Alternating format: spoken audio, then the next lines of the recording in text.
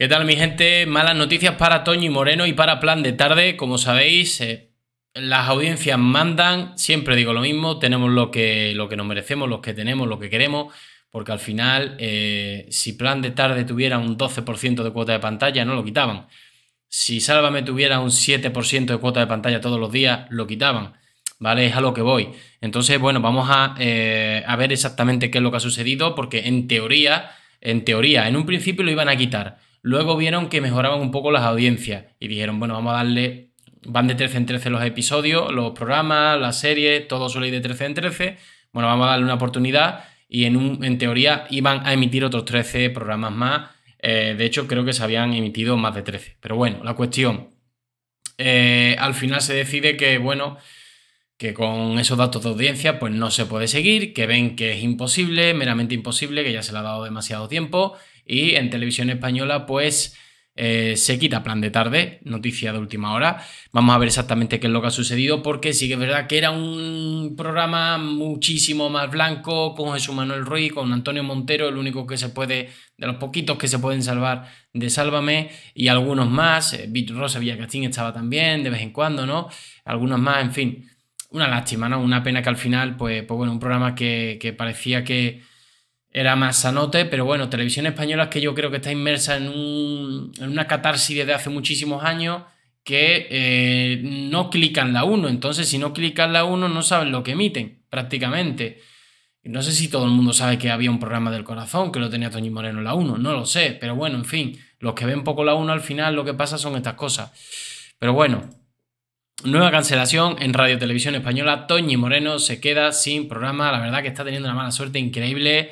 Cuando le funcionaba un programa en Telecinco, se lo regalan, cuando lo había levantado ella, se lo regalan a Emma García, que era Viva la Vida, se lo regalan y la mandan a que realce las audiencias en mujeres, hombres y viceversa. Luego la echan de mujeres, hombres y viceversa. Eh, y creo que metieron a Jesús Vázquez, que si ya estaban mal las audiencias, Jesús Vázquez la terminó de hundir, que a mí me encanta Jesús Vázquez, pero bueno, no tiene nada que ver. Digamos que el formato estaba ya muy quemado eh, y ahora, pues bueno, tenemos que plan de tarde, que bueno, el que lo haya visto habrá, habréis visto que se tratan los temas de otra manera. Eh, es verdad que lo he visto poco, pero lo poco que lo he visto no tiene nada que ver. Tratan todos los temas, no hay vetos.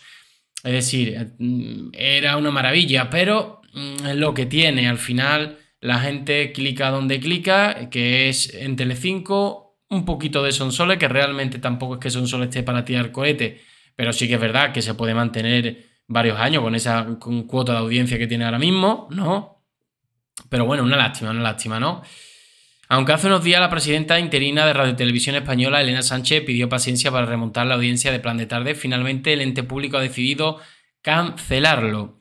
Malas noticias para Toño Moreno, su programa en Radio Televisión Española, Plan de Tarde, echa el cierre cuatro meses después de su estreno. Así lo ha decidido el ente público tras no conseguir remontar unos datos de audiencia que han ido cayendo desde su estreno y que para la corporación pública hacen imposible seguir manteniéndolo. Según ha podido confirmar este periódico Radio Televisión Española, se lo comunicó a la productora Teseo este lunes al mediodía, es decir, que ayer, ayer. Aunque el contrato de Radio Televisión Española con Teseo, Lazos de Sangre, la productora de Lazos de Sangre, eh, encargada de Planetario fue de 13 programas por un monto, por un total de casi 2 millones de euros, la presidenta interina Elena Sánchez se empeñó en que el programa saliera adelante, así que tres entregas que se acordaron. Radio Televisión Española ha emitido 15, luego estaba diciendo, al final se han emitido incluso dos más, eh, de, una forma, digamos, sin terminar de cerrar esos 13, pues bueno, se han continuado. Eh, me imagino que pagarán esos dos y lo dejarán así. No sé si este fin de semana, a ver si lo dice aquí, va a haber el último o ya, o ya, o ya definitivamente cancelado, ¿no? Sin embargo, los malos datos de audiencia, que de media no han superado el 7%, que es muy bajo, un 6 y pico para una televisión española mm, a un horario eh, que veréis, no sé, independientemente de que haya menos gente viendo la televisión, los datos de audiencia en porcentaje son en porcentaje, ¿no? Con lo cual, no es que estemos pidiendo que tenga un millón y pico, pero oye, un 6%, un 6 y pico, muy poco, ¿no? Muy pobre. Y de hecho empezó con un 9,4, ¿eh? si no recuerdo mal. Muy por debajo de la cuota de pantalla de la cadena, eh, han llevado a Radio Televisión Española haya tomado definitivamente la decisión de cancelarlo, un duro golpe para Toño Moreno después de haberse marchado de Mediaset y haber apostado por su regreso al ente público tras varios años probando suerte en Telecinco. Es un regalo, aseguró la presentadora en la presentación del nuevo programa el pasado mes de enero. Toño Moreno regresaba a Radio Televisión eh, Española así, con plan de tarde, un magazine en directo los domingos por la tarde en la 1, con el objetivo de entretener y acompañar y a la vez enfrentarse al magazine líder de los fines de semana, el programa de Magarcía en Telecinco Fiesta. Yo creo que el problema también ha estado ahí. Yo creo que deberían haber apostado por haberlo hecho el fin de semana. Porque la gente quiere seguir tramas. Y en fiesta, el sábado y el domingo, lo que se comenta el sábado, ¿vale? Digamos que la gente que quiere ver cotilleo el fin de semana, el sábado tiene fiesta. Y saben que para el día siguiente dejan incógnitas, dejan cosas pendientes, ya sea de Ana María Aldón en su momento, eh, ahora con y con no sé quién, con Raquel Bollo, con sus hijos, con Isapi, en fin, están dejando trama del sábado al domingo. Entonces, ¿qué pasa? Que plan de tarde no tira. Pero el error está, y que yo no entiendo de esto de televisión, más que lo que llevo analizándolo en los últimos cuatro años y medio, pero sí que es verdad que hasta un tonto lo ve, ¿no? Que, es decir, si ves que el sábado fiesta empieza con sus tramas y lo deja interesante cebando para el domingo, el domingo nadie va a querer ver plan de tarde, va a querer continuar con fiesta. Eso es un problema añadido, entonces tendrían que haberlo emitido sábados y domingos, sábados y domingos, y habrá gente que entre los anuncios pique ese mismo sábado en plan de tarde, hubiera pasado esto, y a lo mejor más de uno se hubiera enganchado a plan de tarde el sábado, y haciendo lo mismo, cebando para el día siguiente, continúa con los mismos temas. Si se está hablando de Ana Obregón el sábado, el domingo se continúa. No que al final, fiesta pues se lo lleva todo. ¿Qué queréis que os diga? Quitando algunas veces que las películas de Antena 3 se lo lleva, pero que digamos que lo que es el cotillón sí, pues se lo ha llevado fiesta. Y ahora aún más. O sea, si quitan, si quitan ahora el programa de plan de tarde, por poco que tuviera, que le gusta el cotilleo, ¿dónde lo van a ver ahora? Pues ahora van a aumentar las audiencias en fiesta, seguramente.